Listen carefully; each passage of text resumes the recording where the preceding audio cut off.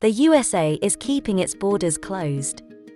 Despite Canada allowing vaccinated Americans to visit, the United States has extended its land border closures.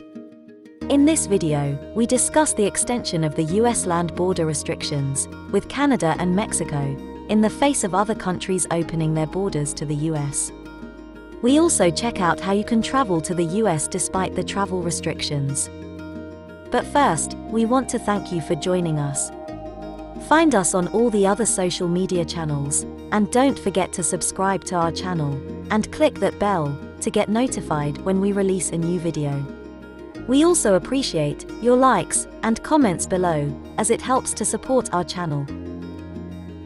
Oh, and don't forget to check out our website at immigration-and-migration.com. This video is brought to you by IAM. We believe that travel improves and inspires you, and the people around you. We help you travel by providing services which overcome barriers and frameworks that simplify and enrich your experience. We just happen to be immigration lawyers. So reach out to your IAM visa coordinator when you're ready for your adventure, or already on one, and would like some assistance.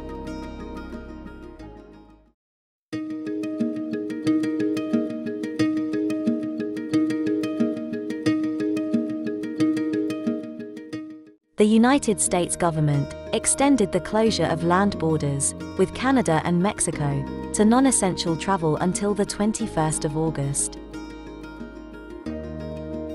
The Department of Homeland Security, DHS, announced the latest 30-day extension. DHS said the agency is in constant contact with Canadian and Mexican counterparts to identify the conditions under which restrictions may be eased safely and sustainably. The US has continued to extend the restrictions on Canada and Mexico on a monthly basis since March 2020.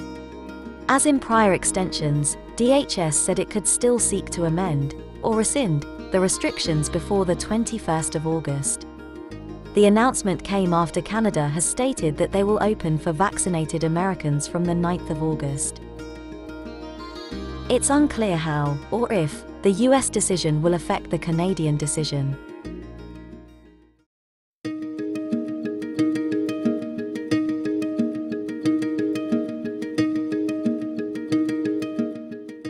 The US continues to allow Canadians and Mexicans to arrive via plane, but they are required to present proof of a negative COVID 19 test result before entry.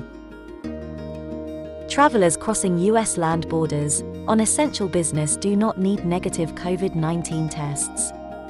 The US land border restrictions do not bar US citizens and lawful permanent residents returning to the United States. The Canadian Chamber of Commerce, a business group, criticized the latest US extension.